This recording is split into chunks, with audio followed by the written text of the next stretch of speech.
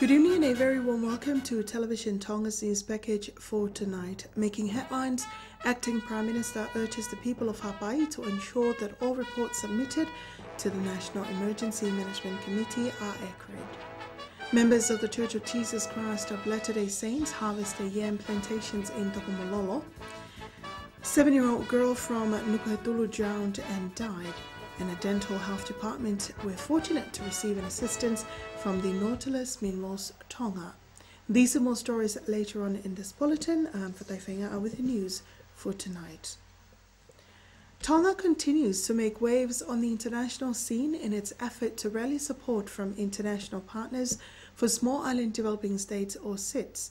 Information from the Prime Minister's office states that the call of the meeting was to discuss how to utilize the blue economy as a tool to shift development in SIDS and coastal states, uh, coastal states rather, towards a sustainable development. In a speech from the Honourable Prime Minister Lot Duano, he emphatically stated the blue economy is extremely important for Tonga and the Pacific Islands region as the islands are scattered across the largest ocean in the world. He highlighted that oceans are often portrayed and unpredictable and powerful and an obstacle that needs to be overcome to address small islands' isolation, geographical dispersion, and large distances between uh, communities. Accompanying the Prime Minister to the meeting is the CEO of TERM, Inoke Finau, and TERM's senior advisor, Akau Ola. Assistance towards the relief efforts in the Ha'apai Group of Islands continues. This afternoon, the Honourable Acting Prime Minister Sami Vaipulu received a donation from the Japanese ambassador to Tonga. The acting Prime Minister made the statement in an interview with Radio and Television Tonga in a special program to mark the presentation of Japan's multi-million dollars worth of goods donated to the Ha'apai Group of Islands. He says some of the reports they've received from the town and district offices reveals a few numbers of residents in a particular village or island, but when they distributed the food and the other items, the number of the islanders exceeds the figures they have.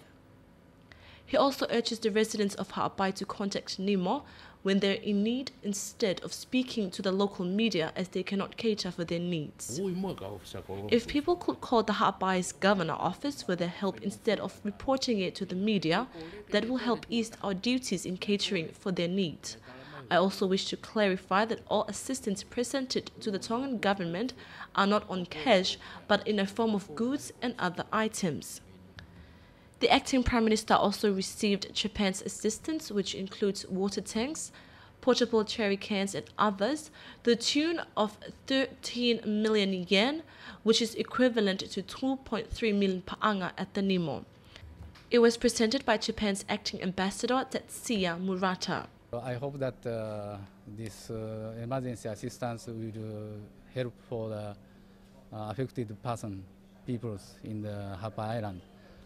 And then uh, for the emergent stages, so I think uh, the government of Japan can um, help uh, this support. Uh, but uh, the, for the reconstruction stages, you know, we are going to consider the additional support.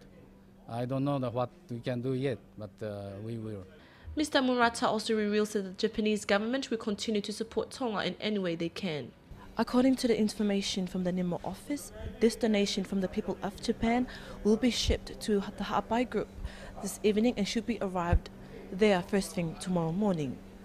From the NEMO office, I'm Anasiu Falekano for Radio and Television Tonga News. The acting Prime Minister also received a donation from the ENGN company, a Chinese company in Tonga who's willing to lend a helping hand.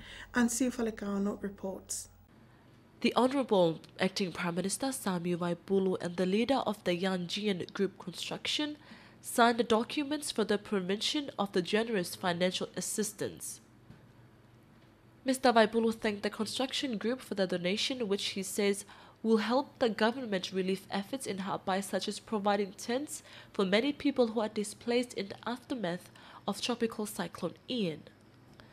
The first secretary from the Chinese embassy in Tonga, Li Rusi, says when they heard of the devastation caused by the cyclone in Ha'apai, the Chinese government immediately planned for ways to best help in the relief efforts in the Ha'apai group of islands.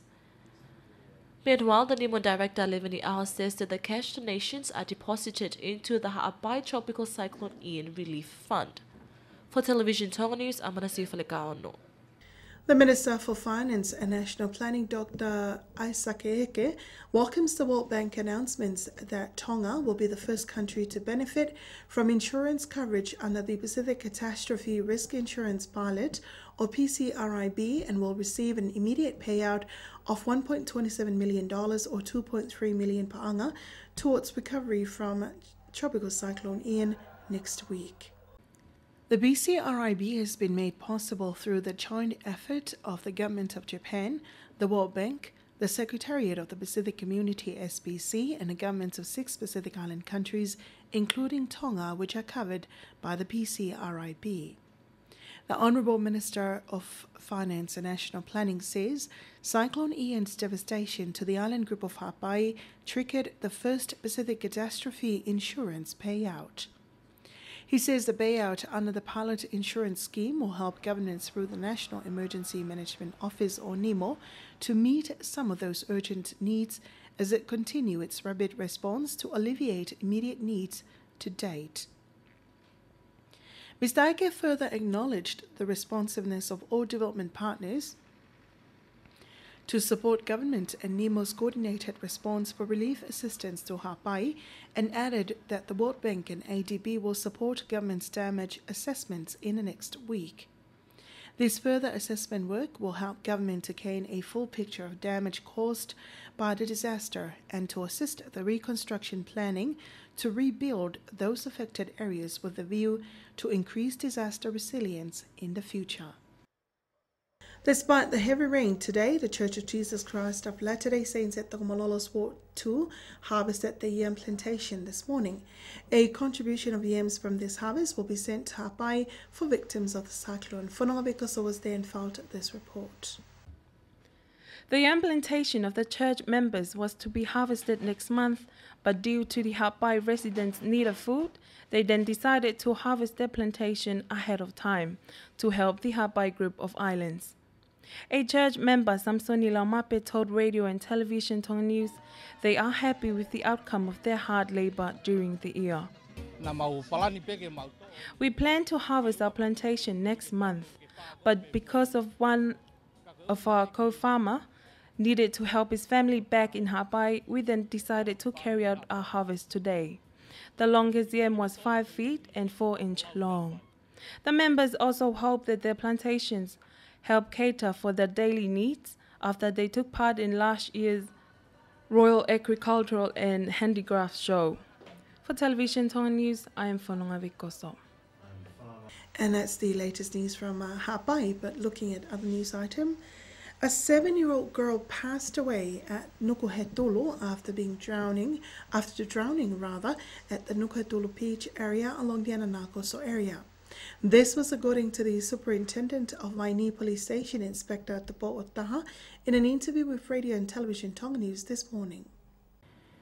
Inspector Tapo Otaha says the deceased was out swimming with two other girls, both at the ages of 11 yesterday afternoon. Police received a report on the deceased disappearance at 5 yesterday afternoon. When police arrived at the scene, the locals had already found the deceased who was swept away along the Anana coastal area.